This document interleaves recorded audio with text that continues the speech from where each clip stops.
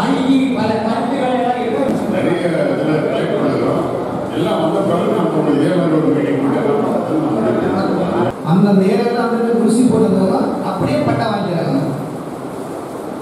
அப்படியே பட்டா வாங்கி அப்படியே நகரத்தில் போயிட்டு ஆயிரத்தி தொள்ளாயிரத்தி பன்னெண்டு பன்னெண்டு ஒரு என்ன பிடிச்சாங்க சொத்து வர கிடையாது.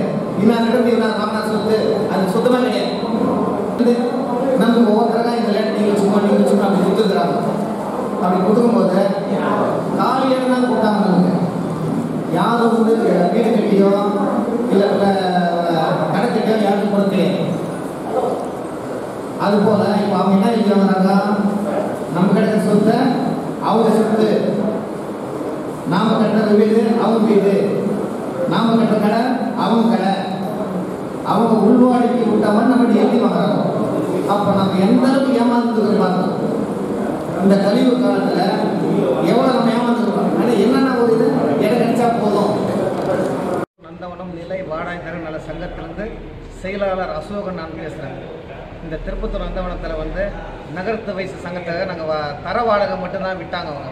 தர வாடகையிலேருந்து நாங்களே வந்து பில்டிங் கட்டிக்கணும். த பில் பில்டிங் கட்டிக்கிறோம் கரண்ட்டு பில் நாங்களே கட்டுறோம். சொத்து வரி நாங்களே கட்டுறோம். இதெல்லாம் வந்து அவங்க என்ன எழுதி வாங்குறாங்கன்னா நாங்கள் அவங்க கட்டி கொடுத்த மாதிரி எழுதி வாங்குறாங்க. எங்களை மிரட்டி. இல்லையா இந்த இந்த இடத்த உங்களுக்கு வாடகை கொடுத்தல ஒன்று சொல்கிறாங்க இப்போ என்ன சொல்கிறாங்கன்னா இவளை கட்டுறேன் இல்லையா?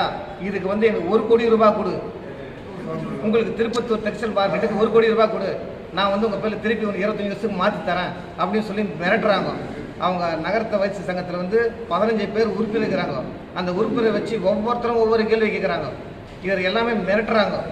அதனால் வந்து நாங்கள் என்ன பண்ணது தெரியாத வாழ்வாதாரத்துக்கு இருபத்தி இல்லை மூணு வருஷத்துக்கு ஒரு முறை வாடகை ஏற்றுறாங்க அதாவது வந்து வாடகை ஐநூறுரூபான்னு சொல்லும் போது மூணு வருஷத்துக்கு ஒரு முறை ஏற்றும் போது பத்தாயிரம் கொடுன்னு கேட்குறாங்க பத்து மடங்கு எஸ்ஸாக கேட்குறாங்க இதெல்லாம் வன்மையை கண்டித்து இந்த சங்கத்தை ஏற்படுத்தி இருக்கிறோம். இதுக்கு நாங்கள் போராட்டத்துக்கு தயாராக உள்ளோம். இதெல்லாம் கலெக்டர்கிட்ட மனு கொடுத்து இது சரி இது குறித்து யாருக்கிட்ட புகார் அளிச்சிங்களா? இல்லாட்டி மாவட்ட புகார் அளிக்கவில்லை. இதுக்கு மேலே கலெக்டர்கிட்ட புகார் அளிக்க போகிறோம் இது ஆலோசித்து செயல் பொதுக்குழு கூட்டம் நடத்தியிருக்கிறோம். முன்- முந்நூறு பேர் கலந்து கொள்ளியிருக்கார்கள் இது மேல் நடவடிக்கை எடுக்குமாறு கேட்டுக்கொள்கிறேன்.